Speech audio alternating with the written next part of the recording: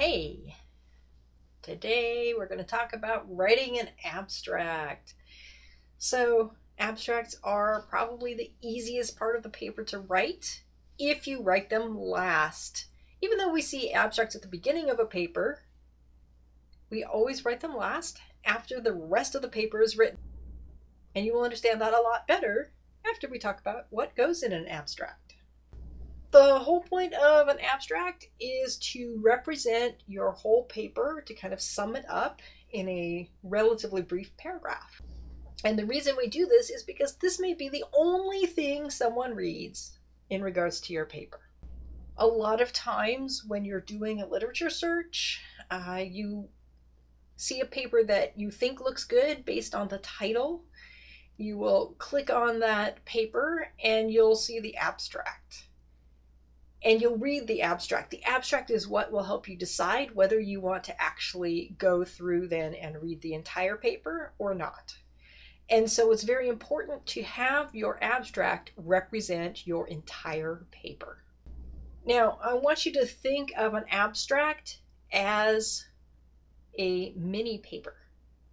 So it is your paper shrunk down to a one paragraph size. What does that mean? Well, a scientific paper has four basic sections, right? You have your introduction, you have your methods, you have your results section, and you have your discussion section. Your abstract should have the same.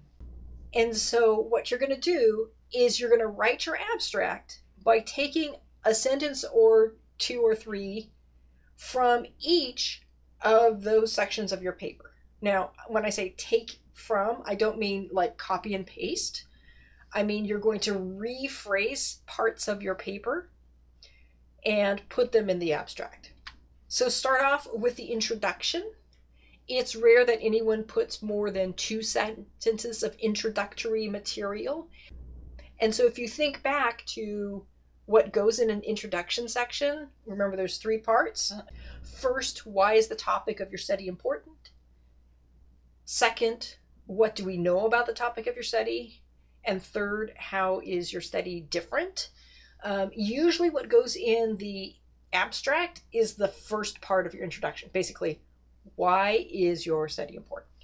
Next, you're going to have a methods mini section, right? And depending on your study, you're going to have one to three sentences.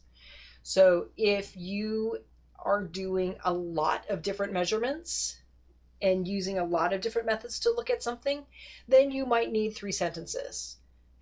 If you are just doing a couple of things, then maybe one sentence would be okay. Results two or three sentences. I may have seen some that go up to four or five.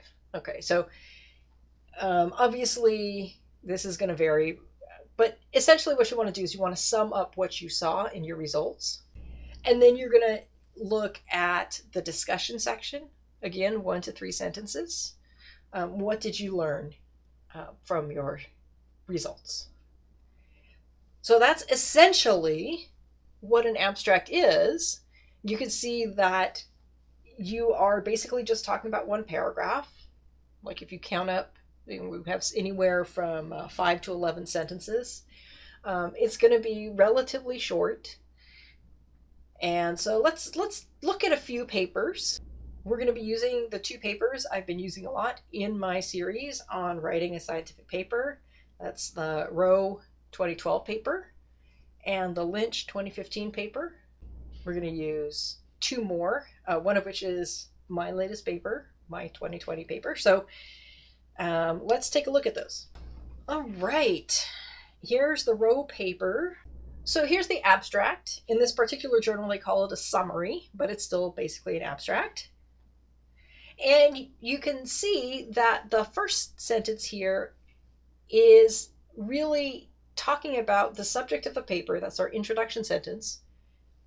This paper was about iron uptake in trichodesmium colonies. And so you look at the first sentence, trichodesmium colonies contain an abundant microbial consortium that is likely to play a role in nutrient cycling within the colony. Although they don't specifically call out iron, they talk about how the bacteria play into nutrient cycling. The next sentence is a method sentence.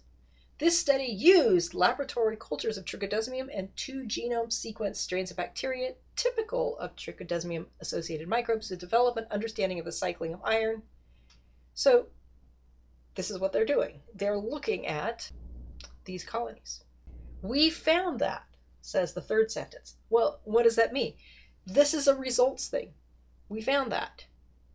In contrast, the representative bacterial strains we studied were able to. Okay, so here's the, another thing that they found. Uh, next sentence. From the organism specific uptake data collected in the study, a theoretical trichodesmium colony was designed to model whole colony iron uptake. This was from the discussion section. Um, the bacteria accounted for, so now they're talking more about their model. Discussion section.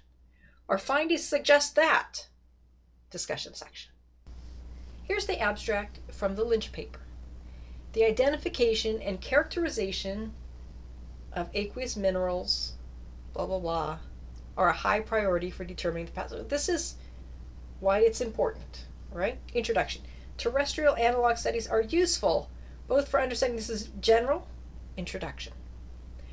In this study, sediments from the Pilot Valley Basin were characterized that means that stuff was analyzed, measured.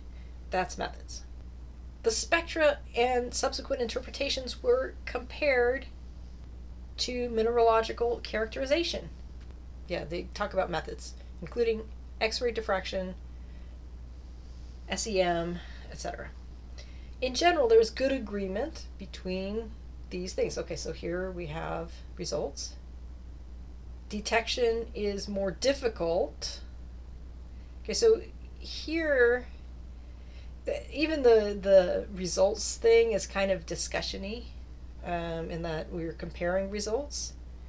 Um, VNIR spectra are dominated by absorption bands. Okay, so that sounds kind of results-ish. So this in this one, the results of discussion are a little more mixed up. This study provides insights into the limitations. That's definitely discussion. So you're always closing with a discussion section. All right, next one.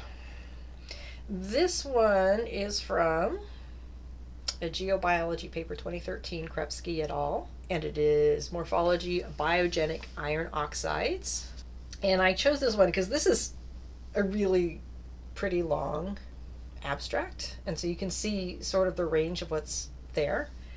Um, despite the abundance of Fe and its significance, there are no established robust biosignatures. This limits our ability a promising candidate to establish the stalk morphology. I would say all four of those are introduction type things. Towards this end, we studied an extant model organism. Okay, we studied something. That sounds like um, methods. We grew cultures in flat glass microslide chambers. We used solid state voltammetric microelectrodes. Methods. So now they've got four of introduction, they've got three of methods. In low oxygen zones, the bacteria converge as cells oxidize, the stalks orient directionally. These are all things that they observed. So here we have results.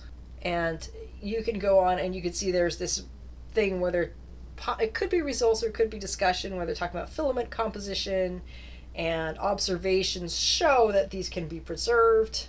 Um, I, I have not gone into detail in this paper yet, so I'm not quite sure where all those fit.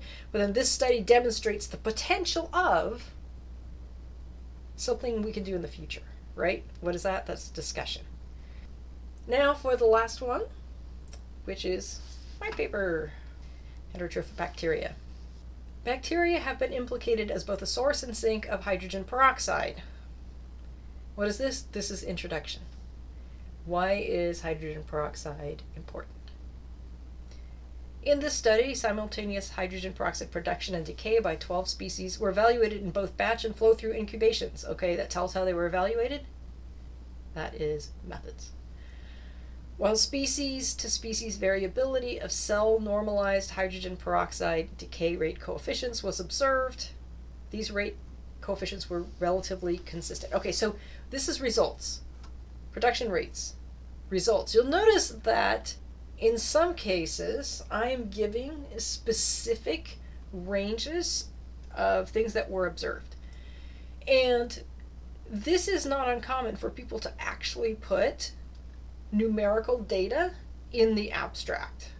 Okay, um, variations based on incubation conditions suggest that. Suggest, anytime you see the word suggest, that tells you that we are talking about discussion material. We're talking about an analysis of what the results mean. Comparison suggests. Yeah, discussion. Rates measured indicate that bacteria could account. Okay, so now we're talking about modest contributions. We're talking about modeling stuff. That is discussion. So we've got one sentence introduction, one sentence methods, um, two sentences of results, three sentences of discussion. So remember, an abstract is basically a mini paper. It's got important information from the introduction, from the methods, from the results, and from the discussion. All four sections are represented. And essentially, you want people to take away the important parts of your paper, even if they don't read the paper. That's what an abstract is about.